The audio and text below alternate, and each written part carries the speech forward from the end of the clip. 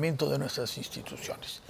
Hemos invitado al ex primer ministro Jorge del Castillo para que nos dé su punto de vista sobre la situación creada.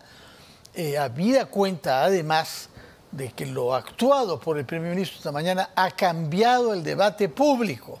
Hasta el día de ayer giraba en torno a la corrupción y a los procedimientos que hay en sede parlamentaria, ante el TC y ante la justicia, de casos de corrupción en los que estaría implicado el presidente Pedro Castillo.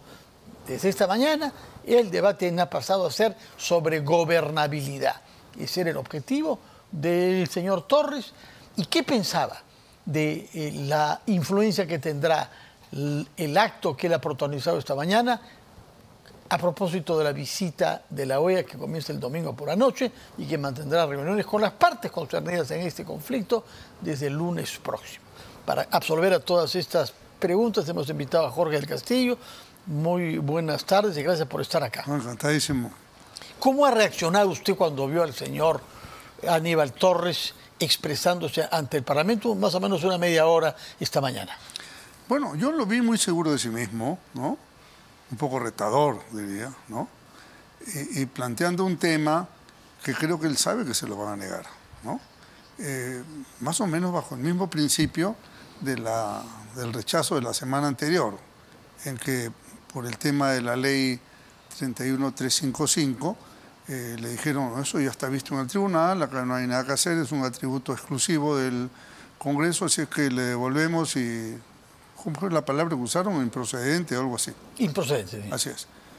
Entonces, él ahora llega ya con otra ley, que es 31399. Otro tema, cambió de tema, el mismo objetivo, pero con otro tema. Sí. Entonces, ¿cuál es la diferencia entre, entre ambas leyes? En que esta segunda no tiene todavía fallo del Tribunal Constitucional, ¿no? A diferencia de la primera, pero está en proceso.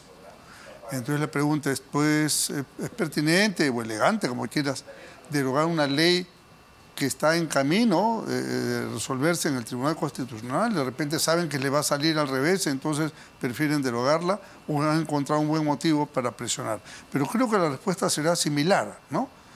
Eh, esto es una atribución exclusiva del Congreso, porque eso de decir que está dentro de los eh, lineamientos de la política general del Estado, que yo tengo la norma, eh, es inciso 6, ¿no es cierto?, fortalecimiento un sistema democrático, una cosa gaseosísima, lo que, lo que, dentro de lo cual puede entrar cualquier cosa.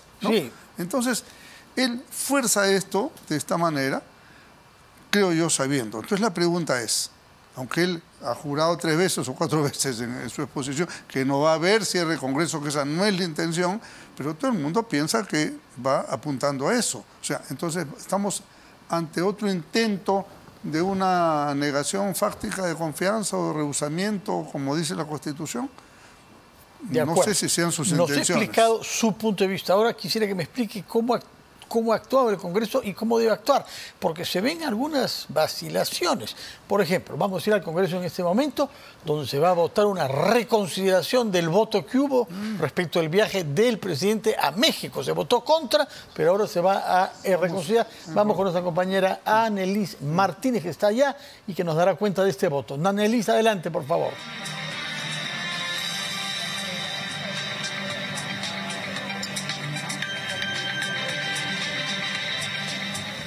Señores congresistas, estamos en votación.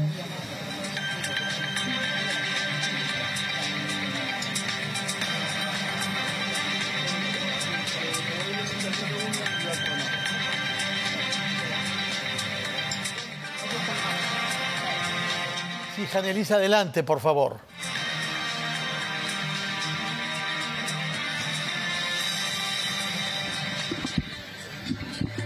Gracias, directo en directo. Efectivamente, en estos momentos se está llevando a cabo la votación de la reconsideración respecto a la autorización para que el presidente de la República, Pedro Castillo, pueda viajar hacia México. Recordemos que eh, esta fue rechazada en primera instancia precisamente eh, por mayoría. Vamos a recordar que con 58 en contra y 51 a favor se rechazó esta votación hacia México, todo lo contrario que pasó para que pueda viajar hacia el vecino país de Chile, el cual fue aprobado con 77 votos a favor, 35 en contra y dos abstenciones. En medio, por supuesto, dentro de los enfrentamientos verbales y altercados que hubieron aquí en el hemiciclo, finalmente pues está votando esta reconsideración. Eh, estamos viendo ya en la pantalla que se acerca más eh, aparentemente eh, los votos en contra, que son los votos de color rojo. Asimismo, también se encuentran los votos a favor, que son los que se encuentran de color verde. Aparentemente, decimos pues de manera preliminar, eh, está ganando eh, el no o la negación para que el presidente pueda viajar hacia México. Uno de los argumentos de los congresistas que mencionaron estar en contra de brindar el permiso para que el presidente pueda viajar hacia eh, el país para poder representarnos en la cumbre precisamente fue de que no daba la talla o para evitar en todo caso realizar papelones. Asimismo indicaron que hay otros temas prioritarios en el país como la crisis política que se vive en medio también de los pedidos de confianza o de cuestión de confianza que han sido presentados por el premier Aníbal Torres Vázquez. Continúa la votación, todavía no hay resultado. Han ya varios minutos desde que se ha solicitado esta votación. La lista en la cual se convocó en primera instancia. Eh, fueron siete los que han presentado o marcado su asistencia. Ahora estamos a la espera entonces de que pueda eh, brindarse los resultados de esta reconsideración que repetimos ya ha sido rechazada eh, en en una primera votación con 58 votos en contra. Vamos a esperar ya algunos minutos más para que se pueda brindar el resultado. Ya se cerró la votación. Vamos a escuchar al presidente del Congreso. 56 votos a favor, 55 en contra y una abstención. Con este resultado, entonces, Vamos a, ver qué es lo que dice el presidente del Congreso.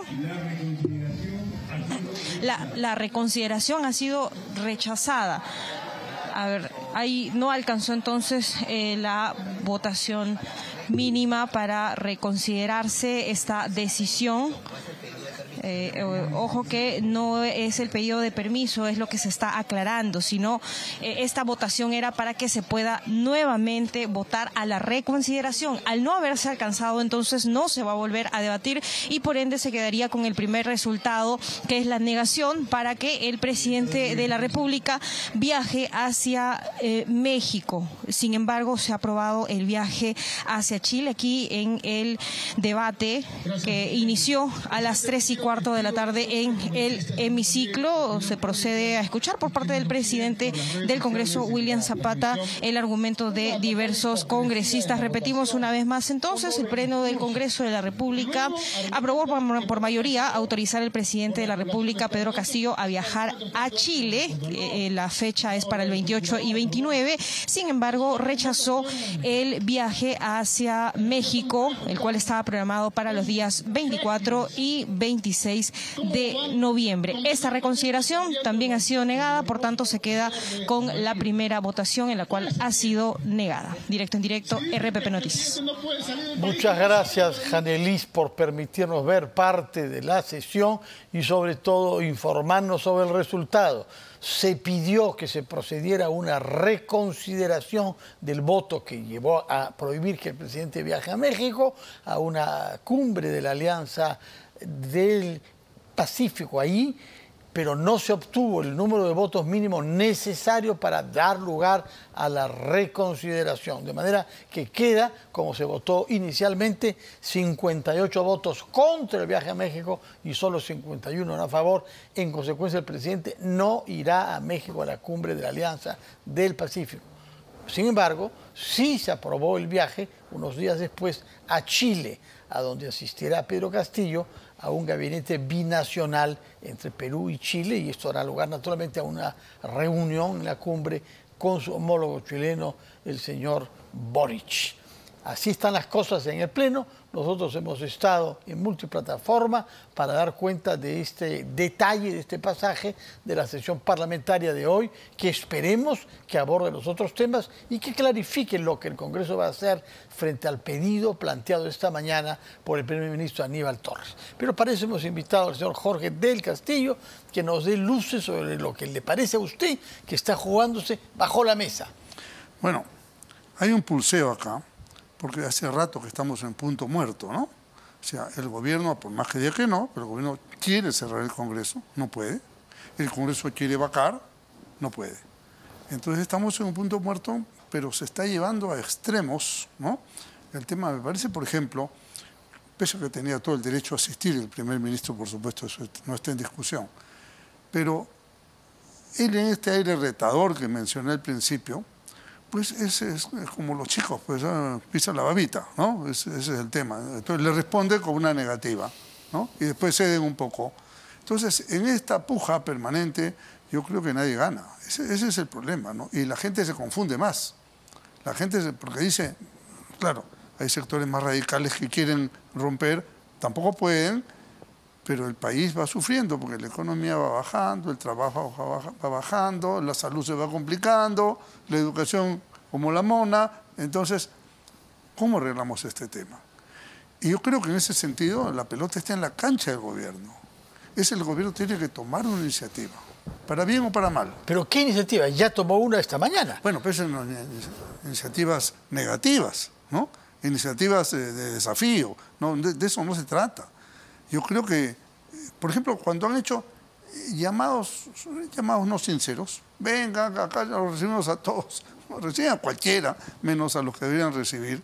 Entonces, aquí tiene que haber un, nivel de sensatez, que no la hay, lamentablemente. Ahora, estamos en víspera de la visita de la misión de los ¿no es cierto? Sí. Ahí se puede abrir una posibilidad, porque no, no, no deja de ser sorprendente, señor Carvalho, que un tema de política interna, como es una denuncia penal contra el presidente de la República, que tiene su jurisdicción, ¿no? Fiscalía, Congreso, Poder Judicial, según sea el caso, resulta en manos de una comisión internacional de alto nivel que podría estar muy bien en otro tipo de problemas, pero no en este caso doméstico. Es así, es una especie de declinación de soberanía que se ha hecho es más bajo un argumento falso, de que se está cocinando un golpe de Estado, lo cual no es cierto. Pero cada vez es más patente que no es así, puesto que es un país en que el primer ministro va al Congreso, presenta esto, se le autoriza que viaje a Chile. Es un país eh, que funciona su institucionalidad. Funciona para bien o para mal, sí, o no, funciona. Y, lo que ha hecho la Fiscalía de la Nación está dentro de sus atribuciones uno pues, no podrá no estar de acuerdo, lo que tú quieras. Además, tiene límites, no es que esto va a llegar hasta el final.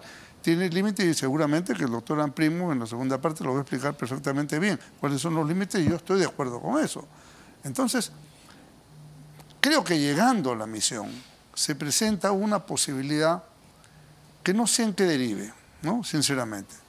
Hace más de 20 años eh, yo estuve integrando una mesa que fue exitosa. Había un problema de otra naturaleza, en otra dimensión, no tengo ninguna duda, pero que era válido para los efectos de poder buscar una salida del Perú y la encontramos.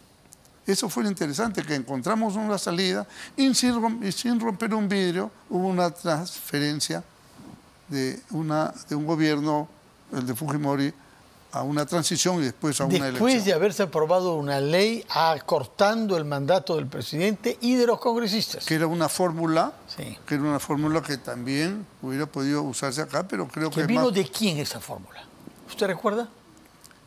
Mira, ¿O no lo quiere decir? No, no, no, sí, yo no tengo ningún problema. Yo creo que, primero, que éramos una oposición unida. Eso es muy importante. Izquierda, el APRA y la derecha democrática todos los sectores estábamos en ese momento.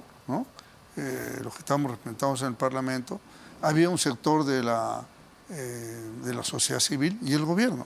¿no? Entonces logramos ir construyendo primero entre nosotros y después ya por su propio peso fue una cosa que parecía imposible al principio. Pero, eso fue posible porque el presidente quería renunciar y de hecho renunció después. quería acortar su mandato. Porque ya vinieron una serie de acontecimientos que decían inviables las cosas. Eh, eh, acá también eh, llegan acontecimientos y nada. No, no, es que, es que, hay una, vamos a decir, acá hay unos cánones distintos, ¿no? siempre en la política, si un ministro, alguien tiene un problema, bueno, das un paso al costado para facilitar tu propia investigación pero no, acá, acá no se creen esas cosas. Aquí, yo me quedo acá como garrapata hasta el final, ¿no? Y no es así. Yo creo que, por eso que yo no pierdo la esperanza de una renuncia, por más que me digan que no, no la pierdo. ¿Qué condiciones le parece a usted que podrían permitir que el señor Castillo considere que el interés del país, y eventualmente el suyo propio, es renunciar? Fujimori lo hizo porque se escapó del país y pensó que de esa manera se libraba de toda, naturalmente, sometimiento a la justicia. Sí, pero ya venía, eh, ya, ya venía un ambiente también de parte de él, ¿no? De ejercer cierta voluntad de salida, ¿no? Eso, eso también es cierto. Yo pensé que con la libertad de la, de la cuñada, ¿no? podía abrirse una opción de esa, porque él no se va a ir dejando a la hija en cárcel, ¿no? Ya no está, muy bien. Entonces, ahí hubiera habido una posibilidad. Eh, yo creo que si el tema judicial, investigativo, avanzara, surgieran nuevos elementos. Lo que pasa es que la gente siempre quiere ver un, video, ¿no? Pero no un pues, puñal con sangre. Claro, pero no, no, es así. Inclusive una vez escribí un artículo que decía salida política con puente de plata. ¿Por qué? Pero no hay en el Perú eso. Lo hemos visto en Estados Unidos. Se logró que Nixon renuncie en el 74. Lo hemos visto. Pero con un puente de plata bastante generoso, que es perdonarlo. Y bueno, después vino un indulto para él. pero, por ejemplo, de la Rúa en la Argentina, ¿no? Se fue un helicóptero. Evo Morales en Bolivia. Firmó un papel y se fue. ¿no? Eh, a México, precisamente. En Ecuador hemos visto varios casos, ¿no? De Lucio Gutiérrez, ¿no? De Maguat eh, en fin, en diversas partes sucede esto. Casi toda la, única persona que se ha quedado ha sido en Bolivia, eh, Áñez, que le cuesta una cárcel infame que el régimen boliviano le pone. ¿no? Pero salida siempre puede haber. Porque ¿qué es lo que importa? Hay gente que dice, no, de ninguna manera, primero la cárcel. Bueno, la cárcel habrá tiempo porque los procesos no van a prescribir ni nada por el estilo.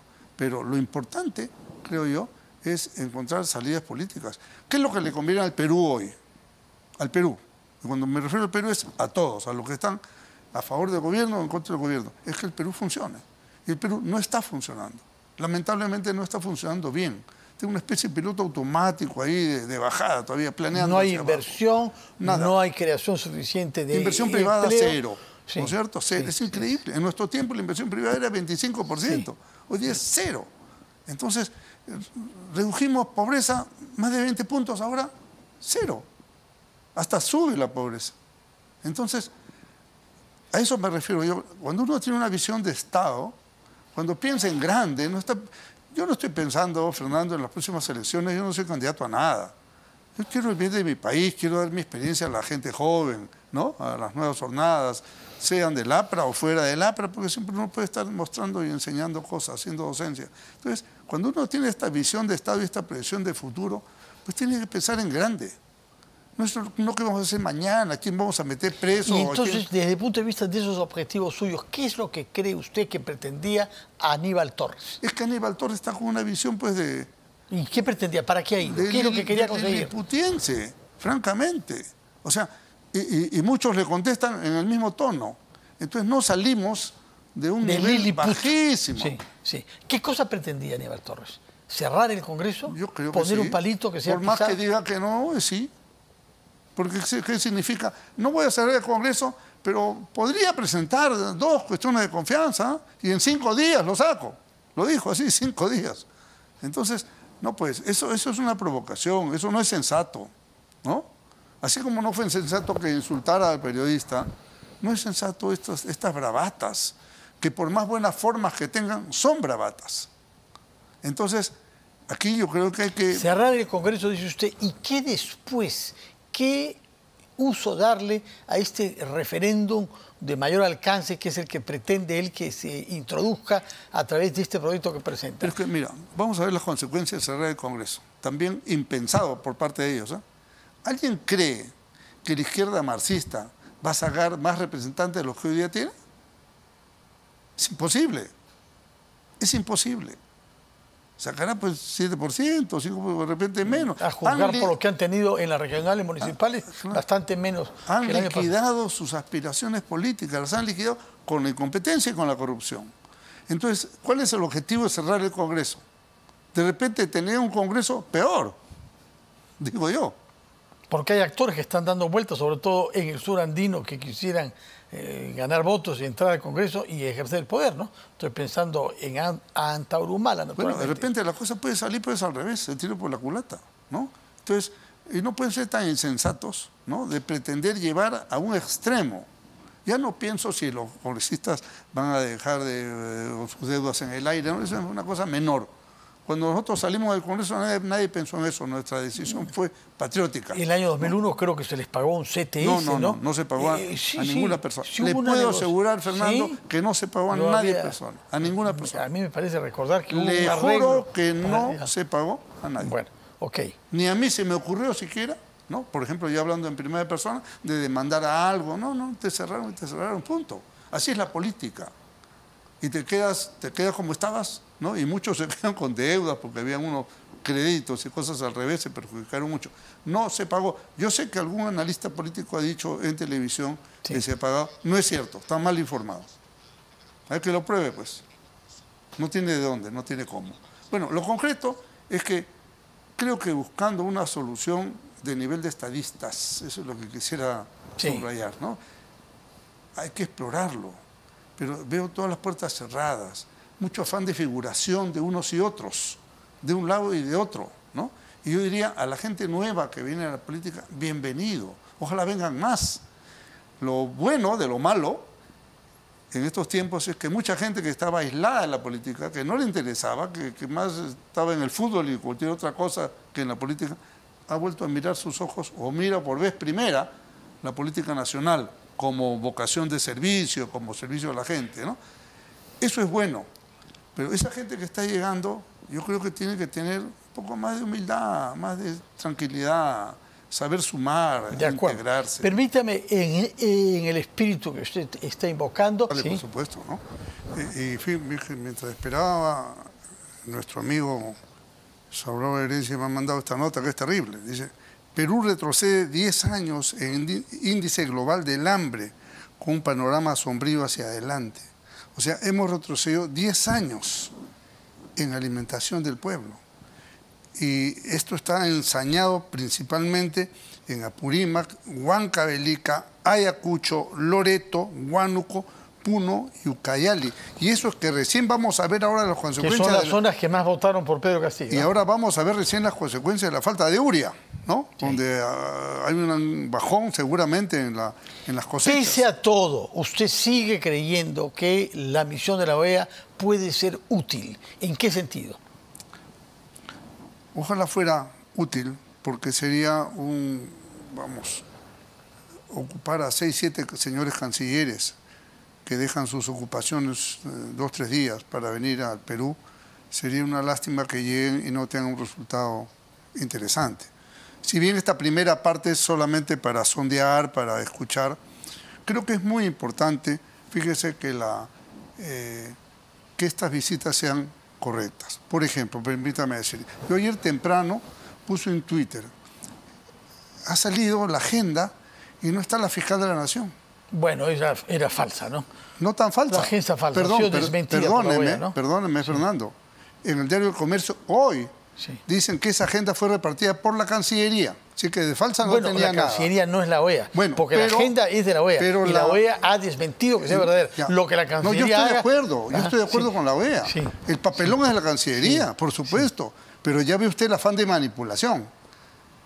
Como Forsyth manipuló a algunos embajadores de la OEA en Washington, que hasta por aclamación no permitieron recibir ni siquiera la carta del presidente del No, no, Congreso. llegó tarde y solo en castellano. No, solo, solo pueden leer cuando llegan en todas las lenguas. Eso se, eso se aclaró después. Casi, Luego to- se re- casi se todos hablan repartió todo. castellano. Sé que eso no es una excusa, bueno, ese, Fernando. ese es el protocolo, no es el protocolo. Bueno, En pero fin, por protocolo tú no puedes desairar al presidente de un poder del Estado. Eso fue un se desaire. repartió su carta a todos los Entonces, embajadores. Bueno, ahora lo que estamos es lo siguiente. La OEA ha hecho bien en aclarar, es más, yo estoy en condiciones de informar que ya se programó lo de la fiscal. va. Ahora, pero hay una cosa.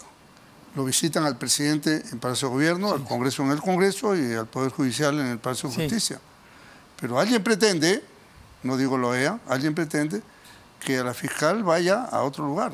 Y yo creo que la Fiscalía de la Nación, como un organismo autónomo constitucional, tiene todo el derecho a que lo visiten en su despacho. Eh, No es un poder del Estado, ¿ah? los otros tres sí. Pero En es fin, un hay organismo constitucionalmente Sí, autónomo sí. y yo creo que debe ser respetado como tal. de acuerdo. ¿no? Pero al margen de eso, lo interesante es que hubo un, desde la Cancillería un afán de manipular, lo hubo. Yo creo que los señores cancilleres que vienen, que tienen otro estatus, que no se van a prestar a estas barbaridades. Saben a quién tienen que oír y a Obviamente. quién no pueden dejar y de oír. ojalá en la sociedad civil también, digamos, clasifiquen bien y no se dejen meter esa barra brava que... No, no, ¿No? De acuerdo, barras bravas hay demasiadas. Efectivamente, señor del Castillo, muchas gracias por su presencia. Encantado. Queda usted invitado cuando acabe la misión para ver si su optimismo esperanzado Ojalá fuere. tenía fundamento o no. ¿ah? Algo, algo bueno tiene que salir de Así, tanta cosa mala. así deseamos todos. Muchas gracias. Ha sido Jorge del Castillo, ex congresista del APRA y ex primer ministro de la República. Vamos a hacer una pausa y retomamos las cosas como son.